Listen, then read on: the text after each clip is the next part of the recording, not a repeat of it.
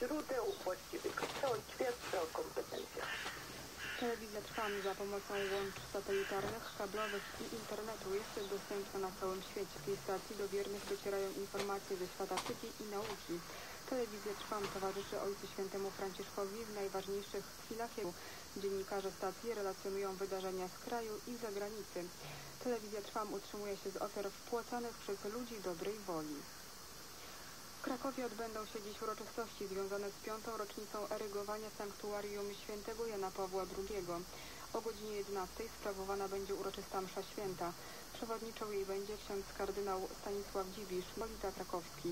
Poświęcony zostanie również pomnik świętego Jana Pawła II. Z kolei o godzinie 30 na Błoniach przy sanktuarium odbędzie się piknik rodzinny.